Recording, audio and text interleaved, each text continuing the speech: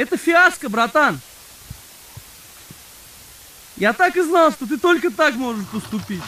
Автор Владимир Лавров не стал оформлять патент на свои высказывания. Любой человек может ей воспользоваться бесплатно. Любой человек может ей воспользоваться бесплатно. После его фиаско ничего не оставалось, как позволить вам играть по своему сценарию. After that fiasco, there was nothing left to do but to let you play out your little scenario.